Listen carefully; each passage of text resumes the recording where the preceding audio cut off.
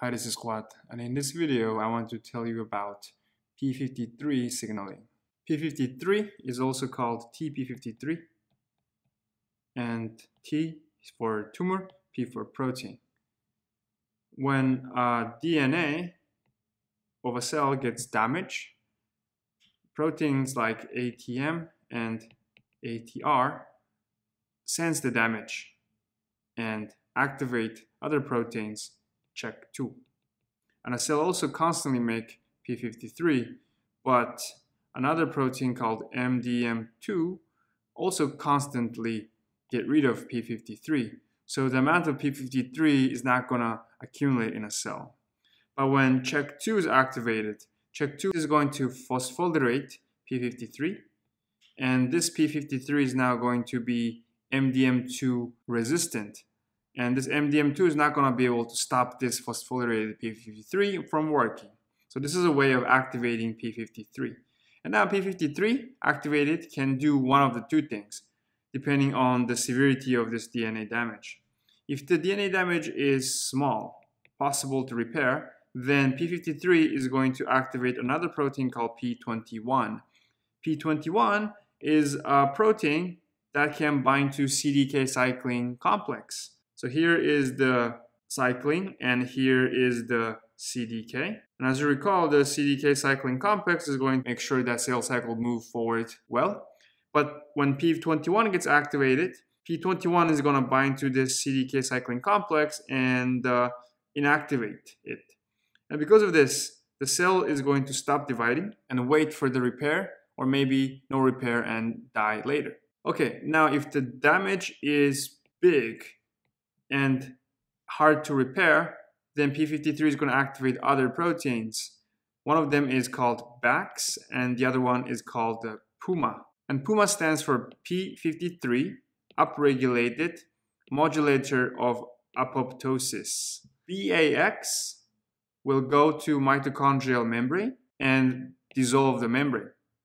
And because of this, the things in mitochondria leak out. And one of those things is cytochrome C. And cytochrome C's normal job within the mitochondria is to work in the metabolic process.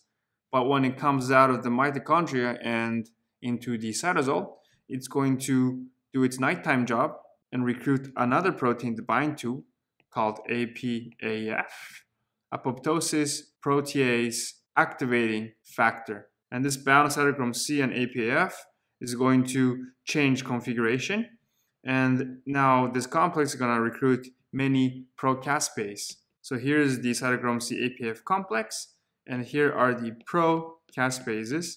And this bound complex will now cut these procaspase to make them into caspases. So procaspase become caspase.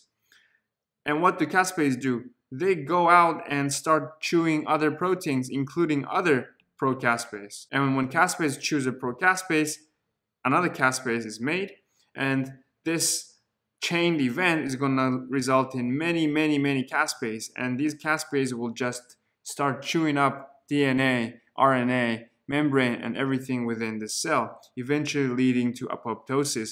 And this whole process is also regulated by PUMA. Overall, BAX PUMA activation leads to apoptosis. So in summary, DNA damage, ATR, ATM sense the damage and activate CHEK2. CHEK2 will prevent MDM's degradation of P53. Because P53 is made constantly, there is going to be a lot of P53 being activated by this CHEK2, and depending on the damage size, P53 can either stop the cell cycle using P21, blocking the CDK cyclin, or apoptosis by activating BAX, permeabilizing the mitochondrial membrane, cytochrome C comes out, make this dangerous complex, recruit a lot of procaspase and turn them into caspase and chew up the cell. And P53 is the most frequently mutated gene in cancer. Almost all cancers have P53 mutation. And there's another player that I want to talk about, which is BCL2, B cell lymphoma 2.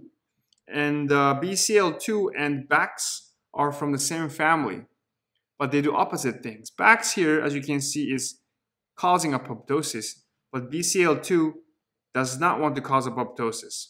The way the BCL2 works is that it actually goes and blocks the Bax protein from working. So even if there is a signal, the activated BCL2 can halt that signal.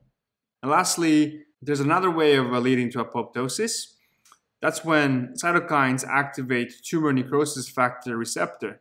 Cytokines from environment or other cells can bind to these receptors, and these receptors can trigger the caspase from leaking out of the mitochondrial membrane and lead to the same big domino effect of caspase chewing up other procaspase, making more caspase and chewing even more things within the cell. So a cell can get to apoptosis in many ways, and here are two ways from P53 with a big DNA damage or tumor necrosis factor receptor sensing a lot of the cytokine signal and pushing the cell to go through apoptosis.